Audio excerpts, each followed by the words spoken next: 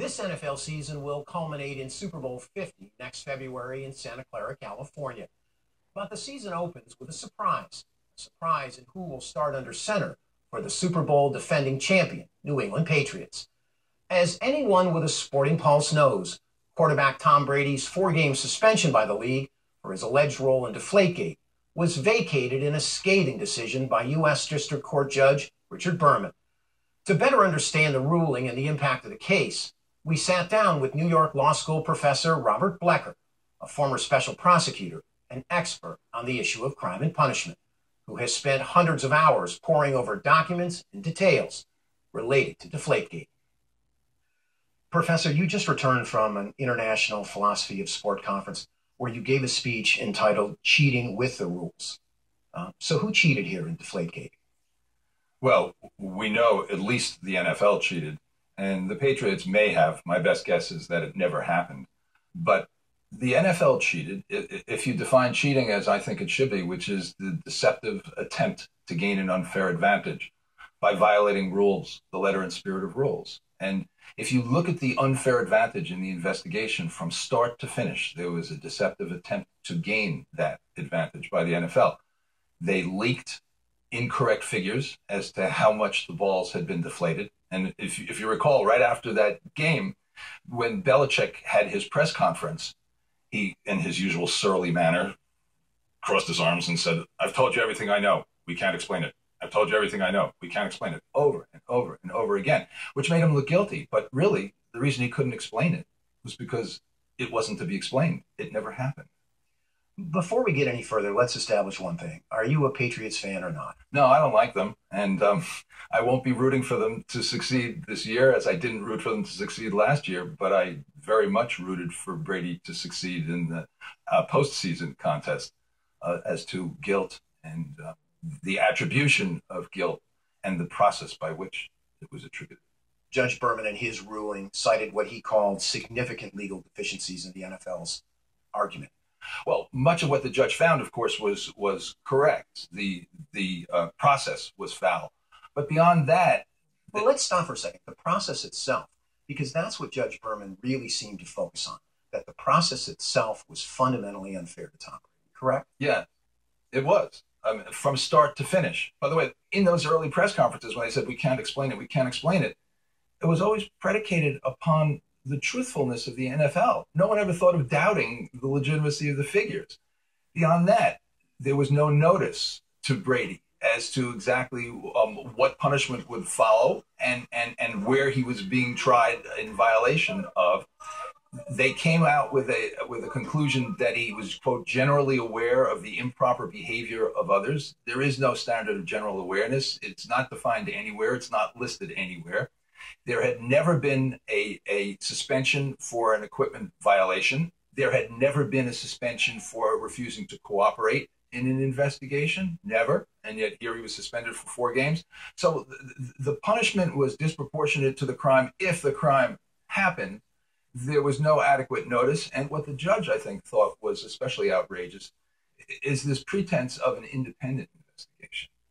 And it's interesting if you read the judge's ruling, he puts independent in quotes right up front. Now, the only well, time every single time the word independent is mentioned in Judge Berman's ruling, there are quotes around it. Yes, quotes, or else it's bolded for for emphasis. There was no independence here. This was an in-house investigation, and uh, some commentators, of course, have pointed out that Goodell acted as judge and jury.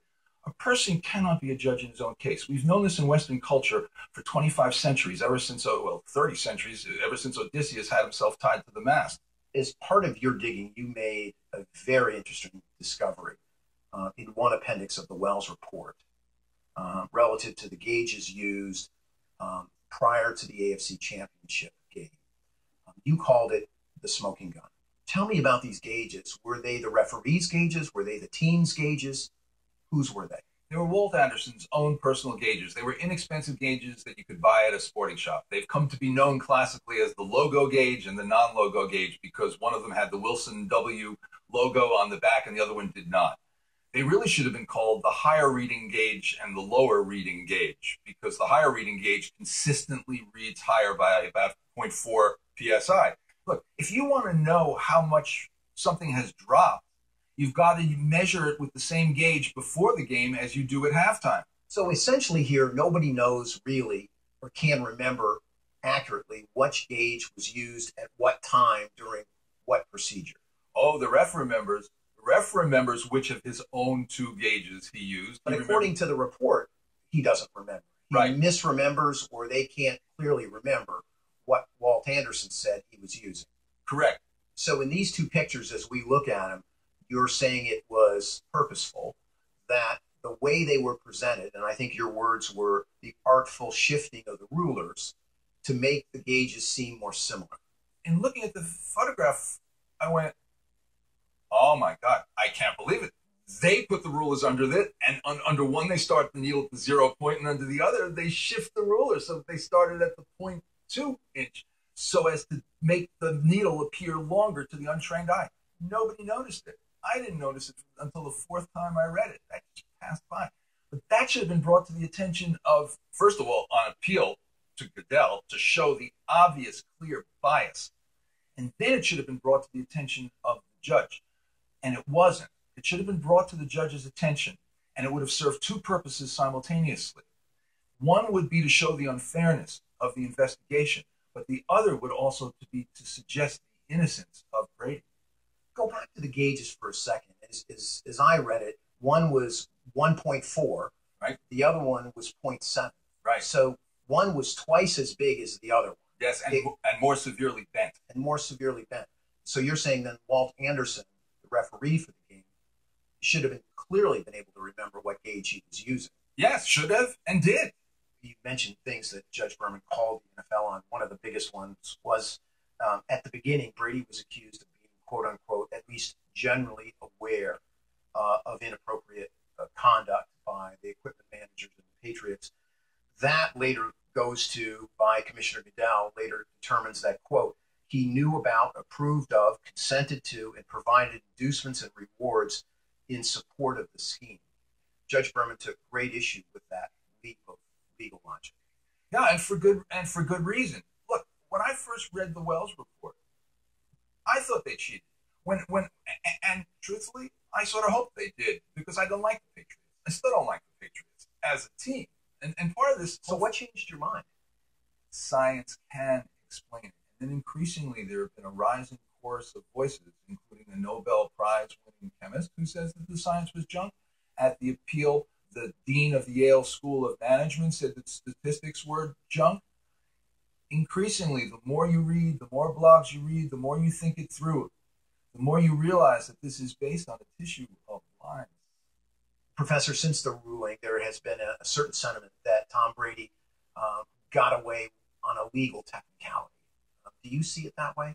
No, not at all. That's very unfortunate, and you're right. Pervasive comparison right now that this is like uh, failing to receive your Miranda warning or having a defective search warrant. The defects in this investigation have nothing to do with technicalities. The defects in this investigation undermine the finding of guilt. The defects, the bias in this investigation tends to support the innocence. In this whodunit, I think the most probable correct answer is nobody. It wasn't done. It never happened.